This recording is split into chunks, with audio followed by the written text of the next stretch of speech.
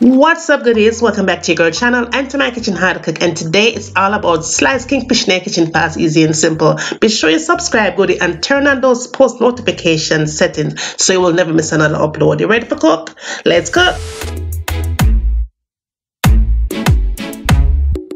Be independent yet she can't read and write a sentence Okay, my goodies, let's start cooking. Now I have four slices of kingfish here that has been washed with salt, lemon juice, and vinegar. Now you want to be sure before you start cooking to pat dry that sliced fish. Get rid of some of that water before you add your salt and pepper. Now you want to do both sides. Just turn it over and add your salt and black pepper on your fish all right? Make sure you do that because you want to give the fish the fish flavor flavor. Now beside the salt and black pepper I did decide to use my traditional fish seasoning here but of course you could substitute that out for all-purpose seasoning or any other kind of a seafood seasoning that you might have laying around in your kitchen and set it aside. Now moving right along this is what you will need to get the most tastiest sweet and sour fish right here in your kitchen. Now we're going to use bell pepper and onions and carrot. We're also going to add a cup of pineapple juice and some pineapple chunks. Now this is what you want to do first. Now with that one cup of pineapple juice, you're going to add some soy sauce to it. And everything that I'm using for the recipe good, it will be listed down below. So make sure you go down there and check it out, okay? Now to that, you want to add some vinegar and you're going to add some tomato ketchup. You can substitute that ketchup, of course, for tomato paste. Now, I did go in and add about one and a third cup of sugar white sugar only and I did go in and add some extra paprika. Give it a good mix like so. Do not add anything else to it and sit that aside Moving right along, in another container, you're going to add about a cup of flour. Depending on how much fish you're going to be cooking, you could add more or less. Now, we want to season the flour a tad bit, so I did go in and add some of that fish seasoning to it. A little bit of that paprika to give it some kind of a color. And that was basically it. I went in and gave it a nice little combination mix now y'all if you want to season your flour a little bit more than I did you could go ahead and do so but it was fine with just the fish seasoning and the paprika. Worked perfectly. Now all you're doing here is just layer your fish. Just tap that flour on there okay? You don't want to add anything else besides just this right here. Cover your fish with the flour base and just set it aside and continue to do everything um, to all the other fish. Now, goodie, a friendly reminder, if you are still here watching me cooking, be sure that you subscribe to the second channel, Life as Juliana. The link for the channel will be listed down below. And for all my vegan goodies, you did request that you want all your cooking to be over here. So starting January 2021, all our vegan recipes will be here, okay?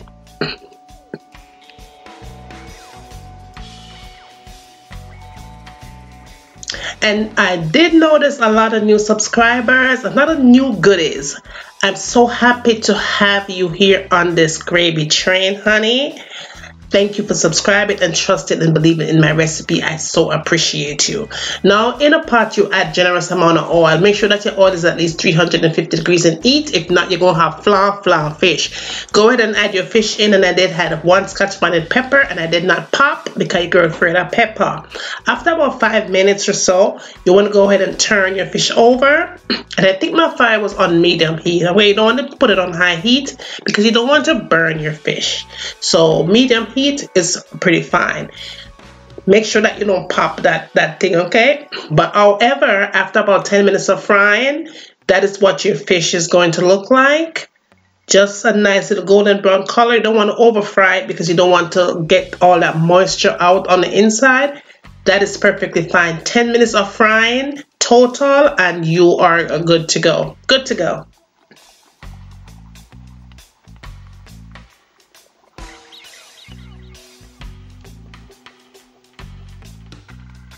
perfectly done perfectly done. Go ahead and just continue doing the same step with the other fish.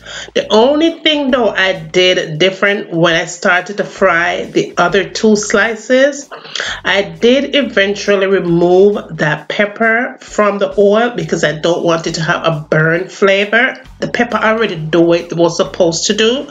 So I went ahead and removed it and gave these two fish a nice little 10 minute total fried and that was it. Fish was good to go. That's what it's going to look like after a total of 10 minutes of frying. And then we're going to move along to our next step. Now in another container we're going to get our veggies together go ahead and add some oil here and then you're going to add some ginger if you don't have fresh ginger go ahead and grab some ginger powder and some fresh garlic give it a good mix with your fire here at a medium heat only Give it a good mix and just let that combine for about a minute and a half. That's all you need, a minute and a half here. After a minute and a half, you go ahead and you add your sliced onions to it and give it a good stir for about 60 seconds. That's all you need here.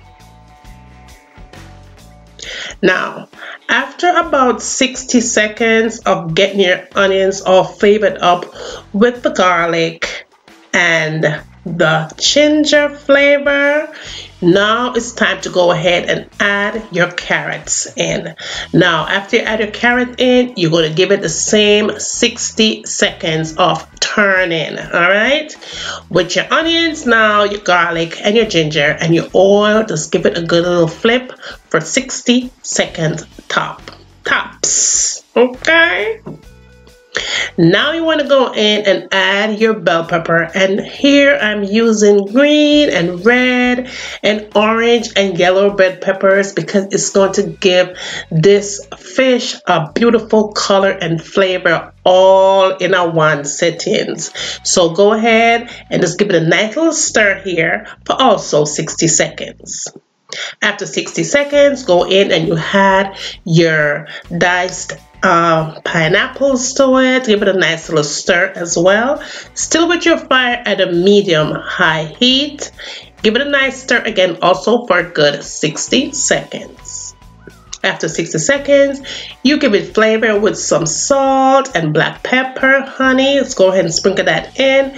Give it a nice little combination mix again for another 60 seconds here all right?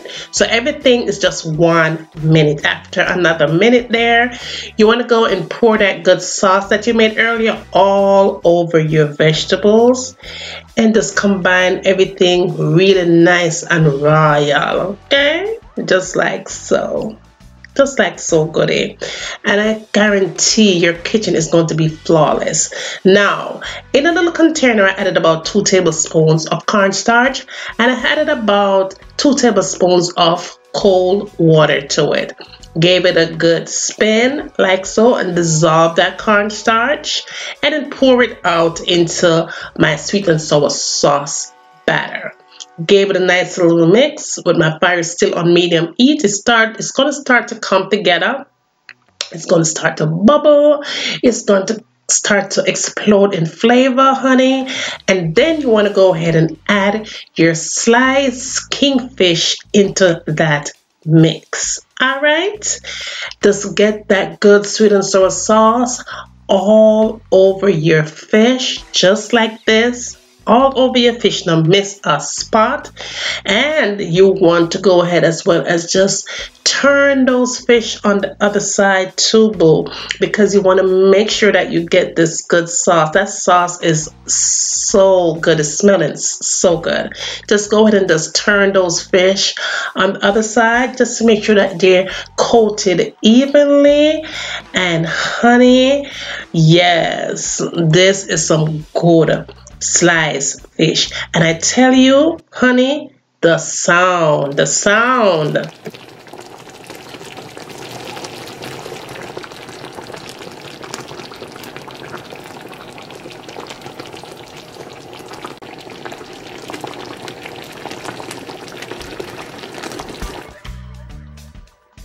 Goody, when Matilda said the fish turn up loud, you know, the fish turn up mad loud all I did for presentation was just put some scallion on top of that good good and the thing was good delicious trust me. When I tell you this thing had so much flavor my entire house was saying a statement all right? Now this recipe right here is something that you could eat with. White rice rice and peas or just about whatever it is that you so choose. However Make sure that you're spreading this love with all your friends and family. Share the recipe, go to share the recipe. Bring them, come over here and send them, come, I'm waiting. After you get doing that, tell me what you would like to have me cooking next in my kitchen. And remember as always, from my kitchen to your kitchen, enjoy!